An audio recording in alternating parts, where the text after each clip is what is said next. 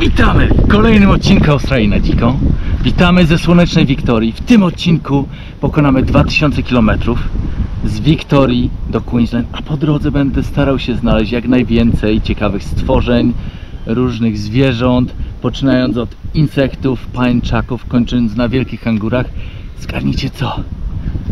na samym początku wyczaiłem dwa kangury leżące zaraz za mną w lesie. Podejdziemy do nich, wam je pokażę. Są to szare kangury, dość sporych rozmiarów. Samce potrafią być mojego wzrostu, samice sporo mniejsze. Teraz wieczorem one jeszcze nie wychodzą na żer. Siedzą zazwyczaj w cieniu i czekają, aż słońce trochę opadnie. Znajdźmy je i wam je pokażę. Trzeba się do nich zakraść. W tym obszarze oczywiście można znaleźć różne węże Tiger snakes, brown snakes, copperheads, także trzeba uważać Szczególnie teraz po południu węże kochają to słoneczko Znajdą sobie obszar z odrobiną słońca Będą się teraz wylegiwać, nagrzewać przed nocą Kiedy wychodzą na polowanie Nie wiem czy widzicie Trawy tam Okej Namierzyliśmy je. Są może 40 metrów przede mną. Spróbujemy do nich podejść. Zaraz się spłoszą, już widzę. Już, dały dyla.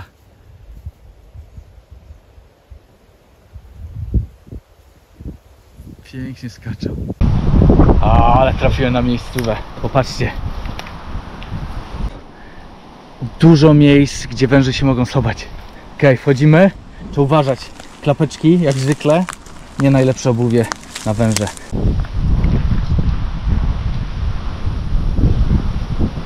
O, ale fajny teren. Wszystko szeleści, szumi. Au, kurde. Osty. W klapkach przez osty. Ale sobie biłem w nogę. Auć, auć, auć, auć. I mrówki. O, albo to była mrówa. Coś mi użarło. Nie, wbiłem sobie osta. Auć, auć, auć.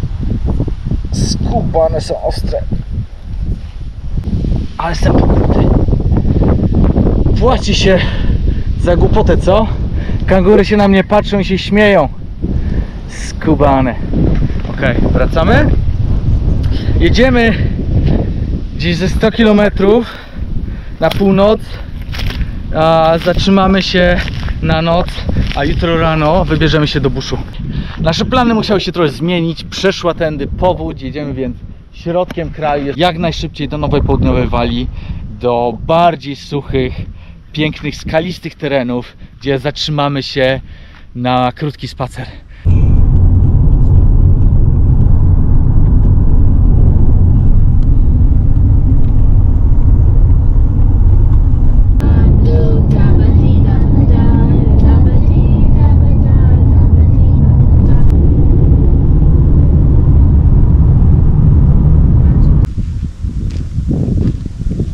Przejechaliśmy wczoraj 400 km. Jesteśmy na obrzeżach miasteczka Griffith. Widzicie je tam w oddali. A wybrałem się na krótki spacer poszukać innych ciekawych rzeczy. Tutaj przez 24 lata w tych okolicznych skałach mieszkał pustelnik. A to było na początku XX wieku. Wybudował sobie tutaj w jaskini domek. A właśnie zwiedziliśmy jego pozostałości, a ja patrzę po tych jaskiniach za różnymi ciekawymi insektami. I popatrzcie tam, cała ta glina u sufitu to gniazda os. Niesamowite. To są osy, które nie żądlą, one budują takie ciekawe gliniane domki. Wszystko jest zielone i ładne, no nie? No. Tylko ten gentleman z tyłu narzeka, że znalazł dwie ropuchy.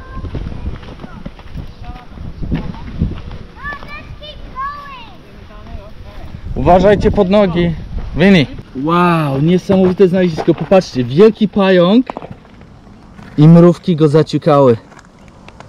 I go zjadają. O, spory pająk, naprawdę. O, już mnie mrówka ugryzła oczywiście. Uważajcie, przejdźcie na tym.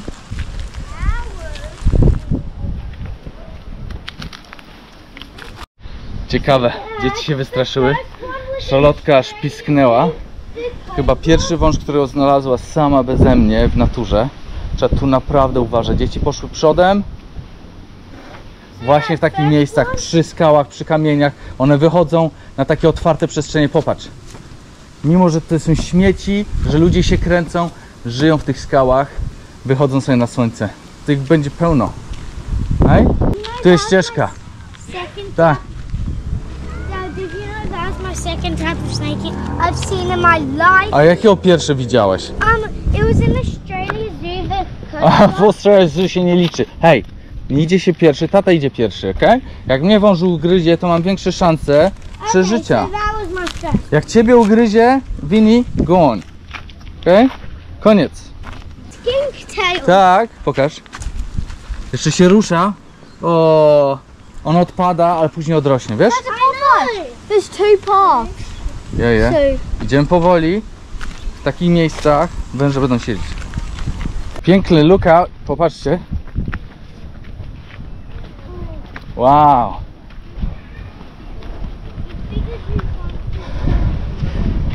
Oto Griffith. W całej okazałości. No, tu jest super. Dzięki mama, że nas wzięłaś. Ale ujął film nawet. A tak, wędrownik. Naprawdę super przygoda.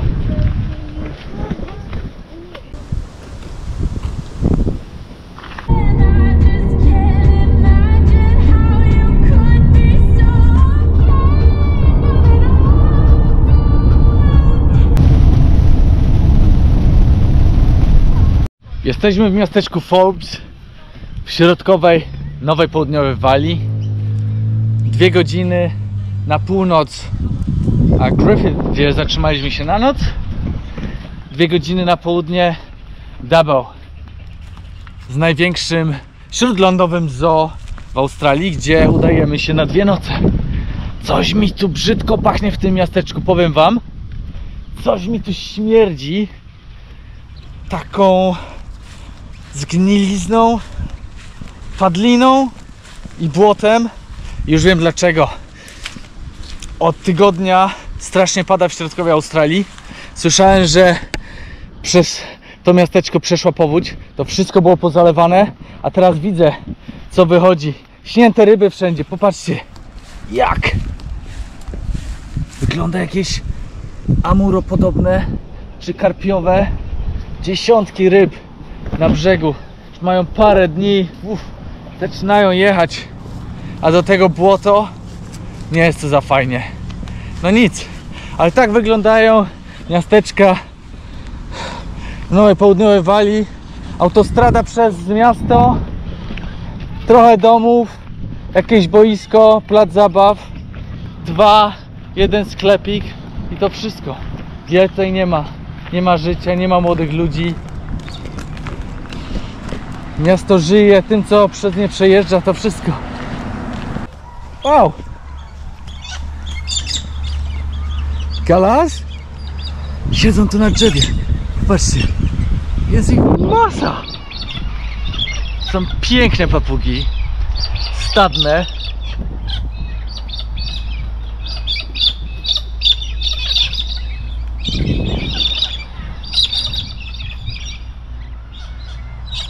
Szaro ubarwione z góry, a podbrzusze i głowy mają ryżowe. Cudne zwierzęta. Patrzcie ile ich tutaj siedzi na tym drzewie.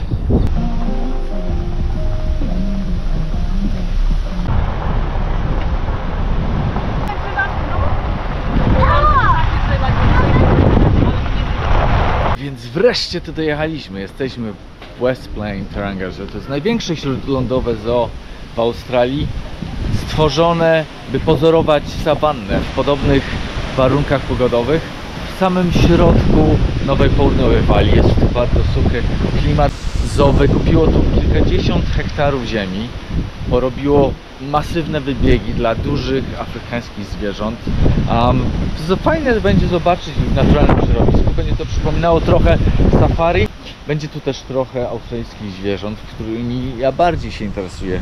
Kolczatki, łombaty, diabły tasmańskie, kangury, które chętnie Wam pokażę. A między wybiegami mam nadzieję znaleźć jakieś rodowite gady, węże i jaszczurki. Zobaczymy jak nam pójdzie. Także zapraszam na przygodę. Let's go! Shall we go to the lane and Widzicie, że nic nie zrobili? Że to zrobili blow up tutaj. Właśnie o tym mówiłem. Popatrzcie na tą kokatu, zleciała tu z drzewa, porwała kawałek chleba i chodzi po sztucznej trawie. Jest tam między ławkami, ale numer. Nie uciekaj! Ale piękna! To jest ciekawe zoo, bo jedzie się autem od jednego do drugiego wybiegu. Jest on na gigantycznym terenie, a przez to wydaje się, że nie ma tu dużo ludzi. Widzimy dosłownie parę rodzin. Tak wszędzie jest pusto. No ale jest to zupełnie inny styl zoo, jak ten, który znamy z Polski. Pamiętam krakowskie zoo, wrocławskie czy Chorzów, gdzie jeździłem jako dziecko, gdzie jest dużo klatek, krat. Tutaj się w ogóle tego nie widzi. Są wielkie wybiegi, często otoczone wodą. Popatrzcie tu, wybieg dla nosorożców. Mamy dosłownie parę nosorożców na taki gigantyczny wybieg.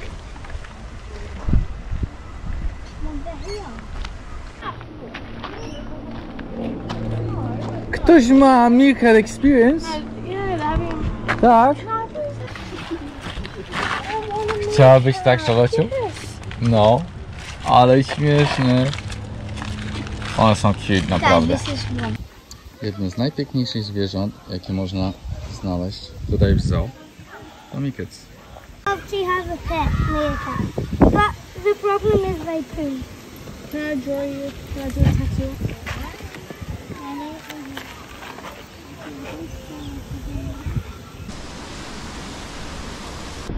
Co można zwiedzać takimi wózeczkami albo jechać autem? Chodźcie zobaczyć, karmią żyrafy. Mam tu sporo ludzi patrzących na żyrafy. Może się przebijemy przez tłum. Ale jak wielki jest ten wybieg. Zobaczcie. Tutaj się można wykupić takie doświadczenie. A, że karmi się żyrafy z platformy marchewkami. Myśmy tego nie zrobili. Może następnym razem. Jesteśmy w środku zoo, poza wybiegami i w tym małym lasku zauważyłem grupę kangurów, które leżą między drzewami. O! Duży samiec mnie zauważył. Ciekawe, czy się postawi, czy zaczną uciekać. Ile ich tu jest? Kilkanaście. A ja was nie chcę straszyć. Uważajcie dzieci na oczy. Popatrzcie, ta samica ma małego w brzuchu. Cześć.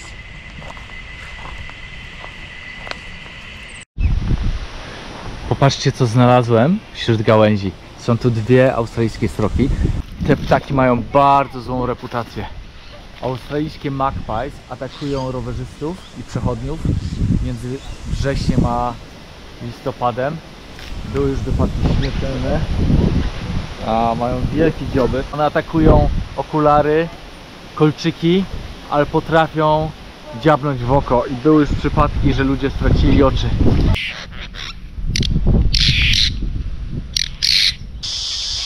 Słyszycie? Cykady. Wyłączyły się, ale wcześniej były tak głośno. Siedzą na tych sosenkach. Nie widać ich, ale wiem, że tam są.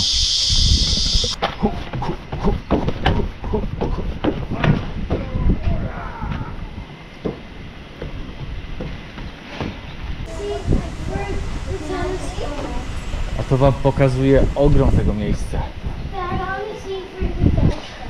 Już przejechaliśmy może 3 km od wejścia.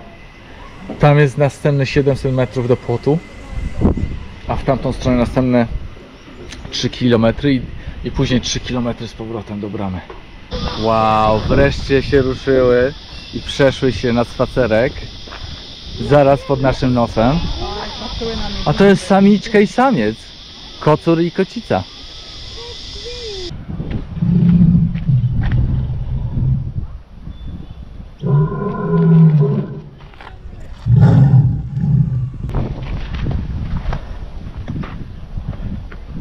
Troszkę szykujemy.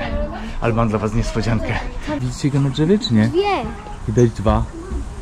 Okej, kto potrafi znaleźć miśki? Niezłe wyzwanie, co? Dlatego je tak trudno znaleźć w naturalnym środowisku. Musieliśmy się wybrać do zoo, zrobić wam małą niespodziankę. Patrzcie. Idziemy do góry. Jeździ, jeden sobie śpina siedząco między gałęziami, a tam jest jeszcze jeden, zaraz nad nim. Popatrzcie. Następne. One się odurzyły eukaliptusem. Potrafią spać 22 godziny na dzień. Musieliśmy się wybrać do zoo, żeby znaleźć koalę. Tak trudno jest a, o koale w Australii, chyba że się wyjedzie daleko poza miejskie obszary. Ludzie mówią, że tych koali jest coraz mniej. Ponoć do 50 tysięcy zostało. A rozmawiałem z rangersami z północy Queensland. Mówią, że to wcale nieprawda. Że taka akcja zrobiona troszkę przez a, Greenpeace, że ich jest masę wszędzie na roli. No nic. Fajnie było je zobaczyć. Tak samo jak moją córę. Czy nie jest piękna? Wreszcie, po trzech dniach jazdy, będziemy wkraczać do naszego stanu. 100 metrów. Tu, tu, tu, tu, tata. I love you, love you. Następny most. Uwaga, na tym, na tej rzece przechodzi granica z Queensland. Żegnamy New South Wales. Tam z tyłu papa. Tutaj. Wjeżdżamy. Tu jest znak Queensland! Queenslanda! Egon the Windy, pierwsza miejscowość. Okej, czas na lunch. Zmęczyłem się. Mama, when, Nareszcie. Jeszcze 4 godziny jazdy i będziemy w